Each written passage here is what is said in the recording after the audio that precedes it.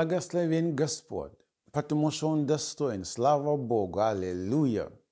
Это когда-то ходил по улицам, я всегда это говорю и, и смеюсь, улыбаюсь.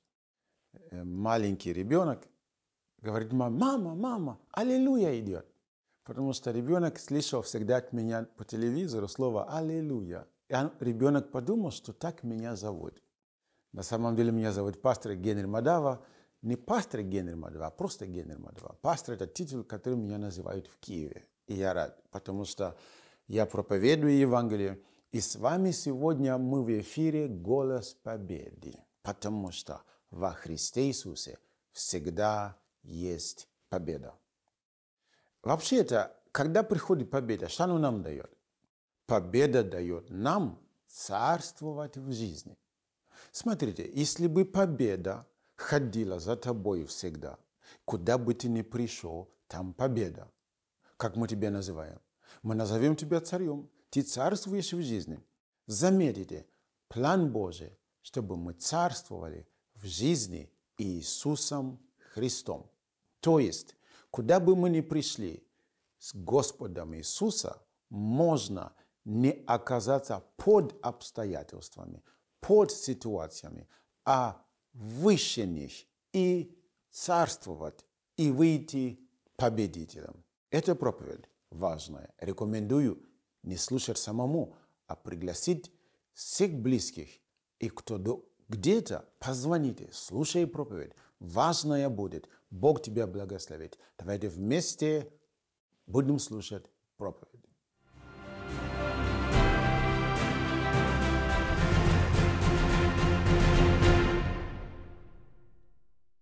Первая книга Петра, послание Петра, 2 глава, 9-10 стих. Но вы род избранный, царственное священство, народ святой, люди взятие в удел, дабы возвещать совершенство, призвавшего на вас из тьмы в чудный свой свет никогда не народ, а ныне народ Божий. Никогда не помилование, а ныне помилование. Исходя из того, что мы читали только что, проповедь называется «Царствование в жизни Иисусом Христом». Бог нас призвал царствовать. Это не имеется в виду над другими людьми, но мы призваны царствовать. Первое. Библия говорит, мы были потеряны. Мы были не народ, а теперь мы Божий народ. Второе. Мы избраны царственное священство. Царственное священство имеется в виду мы и цари, и священники. В Библии не так много встречаем людей, которые имели эти два призвания одновременно. Самого первого, кого мы встречаем, он был и царем, и священником, это был Мелхиседек. Он был и царем, и священником. И Иисус стал тоже царем и священником. А мы через Иисуса Христа, мы также стали царственное священство. Мы и цари, и священники для нашего Бога. Для чего? Мы не цари священники просто чтобы быть. Есть цели. Какая? Чтобы возвещать, по-другому показывать, выражать, дать людям видеть, заметить совершенство или способность и красоту нашего Господа Бога. Колоссянам 1 глава, 12-14 стих. Библия говорит, благодаря Бога и Отца, призвавшего нас к участию в наследии святых во свете, избавившего нас от власти тьмы и введшего в царство возлюбленного Сына Своего, в котором мы имеем искупление кровью Его и прощение грехов. Иисус победил царство тьмы, и мы с вами призваны царствовать, побеждать через Иисуса Христа в нашей жизни. Царство тьмы помнит нас, что мы были, но пришел Избавитель, и мы избавились. Заметите, что сегодня мы из тех, которые были избавлены. И согласно Римлянам 5 главы, 14 по 17 стих, Библия говорит, однако же смерть царствовала от Адама до Моисея и над несогрешившим подобно преступлению Адама, который есть образ будущего. Но дар благодати не как преступление, ибо если преступлением одного подвергли смерти многие, то тем более благодать Божия и дар по благодати одного человека Иисуса Христа преизбыточествуют для многих. Теперь внимательно. А дар не как суд за одного согрешившего, ибо суд за одного преступника к осуждению, а дар благодати к оправданию от многих преступлений. Теперь слушайте.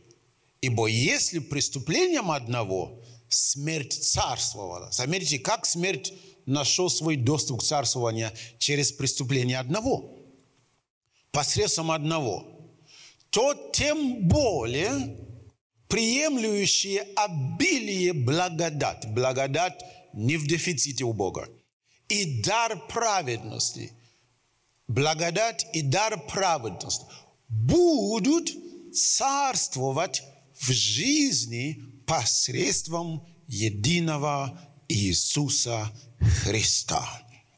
Заметите, что здесь говорится, что есть группа людей, которые будут царствовать.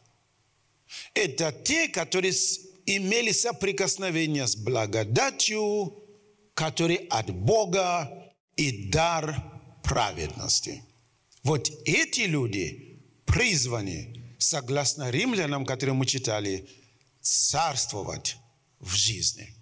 И эта группа людей – это мы с вами. В чем же мы должны царствовать? В чем? Три направления, в которые мы царствуем в жизни посредством Господа Иисуса Христа. Три направления. Первое. Мы царствуем над грехом и над последствий греха. Номер два. Мы царствуем над обстоятельствами жизни. Они нам не цари. Мы над ними царствуем. Три. Мы царствуем над дьяволом и над силами тьмы. От любой из этих вещей, в принципе, это все, что есть на этой земле. Когда мы с ними сталкиваемся, мы с вами призваны царствовать Иисусом Христом. Мы поняли, над чем мы царствуем, а теперь возникает главный вопрос сегодняшнего дня. Как царствовать? Первый метод, как мы царствуем, исходя из того, что мы читали, где посредством одного мы царствуем. Номер один – это сила благодати. Человек никогда не сможет царствовать в жизни, пока не уловил и не понял, что такое Божья благодати и какая есть сила в этой Божьей благодати. Благодать – это Божий метод дать нам царствовать и победу в жизни иметь. Победу. Благодать – это незаслуженная милость, дающая, то есть милость, который дает нам силу и способность от Бога. Очень интересная история, связанная с женщиной, которая была поймана э, в прелюбодеянии. Евангелие от Иоанна, 8 глава, 3 по 11 стих. Тут книжники и фарисеи привели к нему женщину, взятую прелюбодеяние, и поставив ее посреди. И они говорят, учитель, эта женщина взята прелюбодеяние. А Моисей в законе заповедал нам побивать таких камнями. Ты что скажешь? Они это говорили ему, не чтобы его хвалить. Нет, читаем дальше. Говорили же это не потому, что они признают его учительскую способность, а искушая его, чтобы найти что-нибудь к обвинению его. То есть они знали, Иисус не согласится на побиение женщины камнями. Они это знали, но они знали, что он скажет бить камнями. Римляне скажут, он дал убить женщину, и римляне его арестуют. Если отпустить ее, то он нарушил закон Моисея. Да, вот называется тут тигр, тут лев. Но Иисус, наклонившись низко, писал перстом на земле, не обращая на них внимания. Когда же продолжали спрашивать его, они не молчат, они продолжают. Он, восклонившись, сказал им, кто из вас без греха? Первый брось на нее. То есть он не отрицал Моисея. Грешен? Да. Надо бить камнями? Да. Но кто из вас без греха? Бросайте камень. Первый. И поймать его никак. И опять наклонился низко, писал на земле. И тут начал работать Дух, Духа Святого. Обличать во грехе. Они же, услышав то, и будучи обличаемы совестно, стали уходить один за другим. Притом молча, начиная от старших, у них жизни подольше, они успели немало согрешить, до последних. Молодые они, ну, еще там пару грехов сделали, поэтому позже ушли. И остался один Иисус и женщина, стоящая посреди. Теперь смотрите действие благодати. Начинается. Иисус, восклонившись и не видя никого, кроме женщины, сказал ей, тут уже не молчит он, он говорит, женщина, да, где твои обвинители? Никто не осудил тебя? Она сама в шоке, да? Никто, Господи.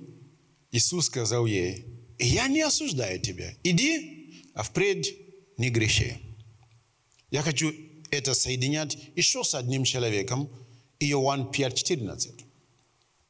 Потому что то, что Иисус здесь сказал, до этого он еще другому человеку говорил. Только я хочу концовка пятой главы, а с женщиной восьмой, а в пятой это раньше. Иисус еще с одним человеком. Потом Иисус встретил его в храме и сказал ему, вот ты выздоровел, не греши больше, чтобы не случилось с тобой чего хуже. Действие благодати в жизни. Сила благодати. Первое. Женщина виновна, грешна и это плохо перед Богом и перед людьми. Второе. Когда ее привели к Иисусу, Иисус задает ей вопрос. Женщина, где твои обвинители? Никто тебя не осудил? Нет, Господи. Хотя она грешна. Она не сказала, а я же не грешна, я чистая. Нет, вообще тут нечего качать называется права. Иисус не сказал, я тебя не осуждаю и одобряю твой образ жизни. Нет. Иисус не одобрил ее образ жизни. Иисус сказал, и я тебя не осуждаю. Благодать – незаслуженная милость. Женщина заслужила милость? Нет. Что заслужила женщина? Камни. Что заслужила, женщина? Позор. Что она заслужила? Побиение камнями. Что она получила? Не осуждаю тебя. А, то есть, ага, чтобы не осуждать, это надо ее простить. То есть, другими словами, Иисус ее простил. А почему нас Иисус простил? Потому что Он умер за эти грехи. Я тебя прощаю. Это один из методов, как в жизни царствовать. Смотрите, что он сделал. Когда он сказал, не осудил тебя, не осуждаю тебя, он этими словами снимал с нее чувство вины. Многие люди у них есть дерзкие отношения к жизни. Согрешили, согрешили, обманули всех. И они говорят, да, это меня не касается, я свободна во Христе Иисусе. Но одно, что не уходит, это чувство вины. И я хочу, чтобы вы заметили, почему Иисус мог ее простить, почему Иисус мог снять чувство вины, потому что она перед Ним не пряталась. Она открыто все как есть. Если бы она начала сказать, Иисус, они неправду сказали, я на самом деле, он бы все это не делал для нее. Он это все сделал только потому, что она вот как есть. Вот многие люди не получают благодать Божия, потому что они начинают вот это перекрывать, то, еще, еще, еще. Не работает. Благодать требует открыть. Иисус снял ее позор. Иисус снял унижение. И смотрите, что дальше говорится.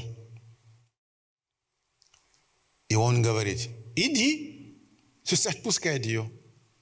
Но только больше не греши. Что Иисус сделал? Что делает благодать?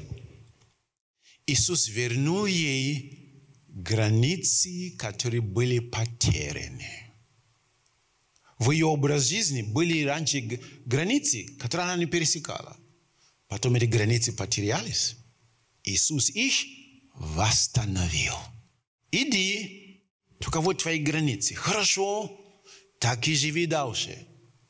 А этому, который Иисус нашел возле купальной, и он его исцелил, он потом его нашел и сказал, слушай, только не греши больше, чтобы тебе не стало еще хуже.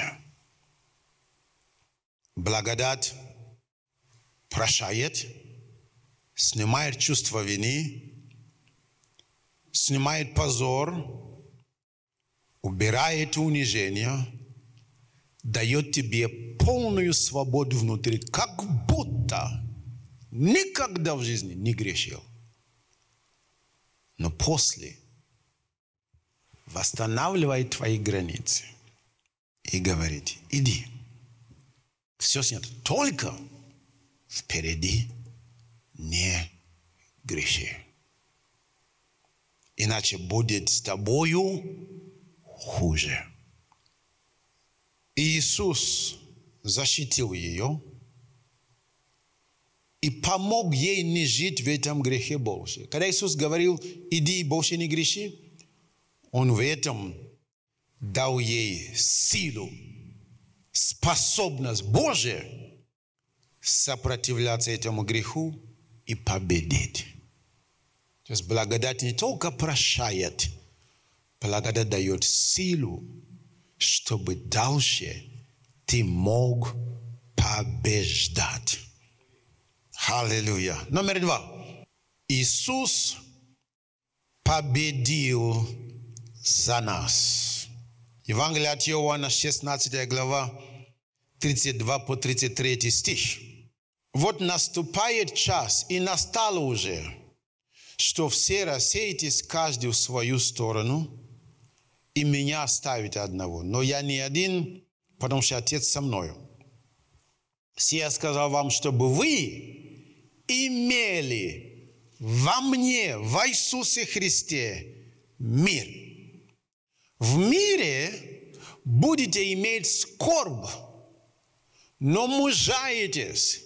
Я, это Иисус говорит, победил мир. То есть Иисус победил ради нас.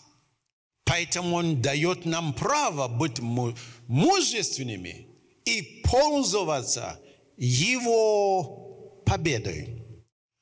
Это мы не начинаем новые кулачные бои с демонами. Нет, мы вообще не можем это делать. Но Иисус две тысячи лет тому назад одержал победу. И когда мне это открыто, то моя победа в том, что Иисус сделал для меня, а не мои физические сражения. И вот эта победа Иисуса Христа – это то, чем мы сегодня царствуем над обстоятельствами, над скорбью, демонами, нечистыми духами, проблемами. Иисус победил.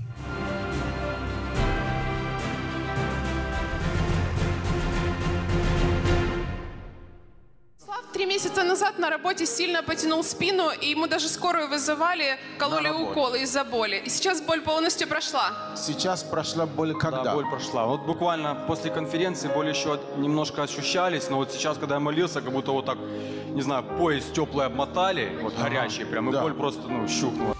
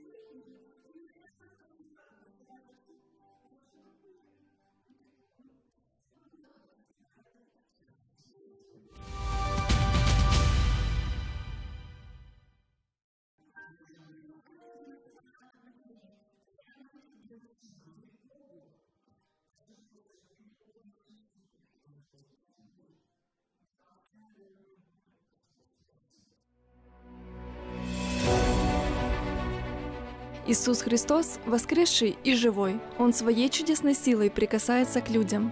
Каждое его прикосновение приносит исцеление, восстановление и освобождение.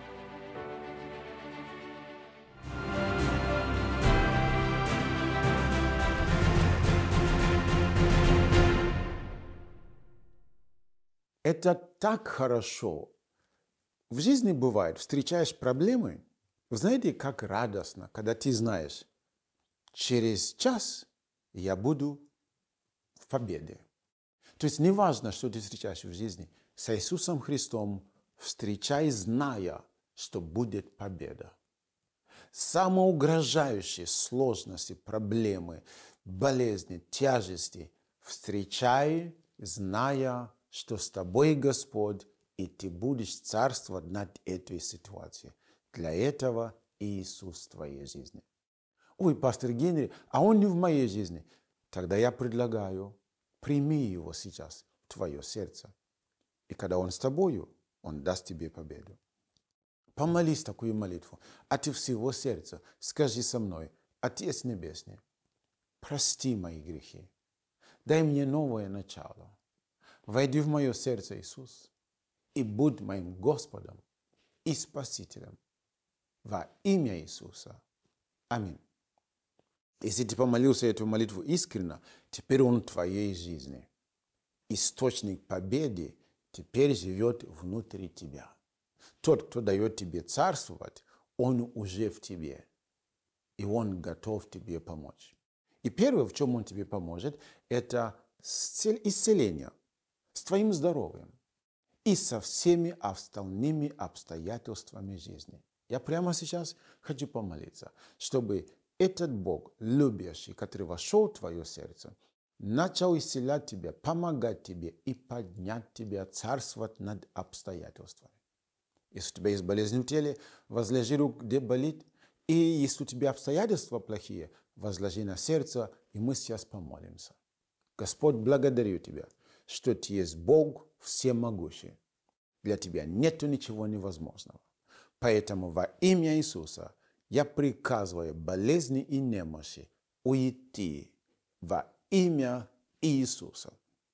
И все ветры сопротивления, проблем, трудностей, которые пытаются уничтожить людей, я приказываю уйти во имя Иисуса.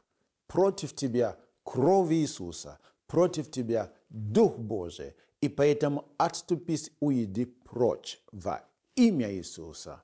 Аминь.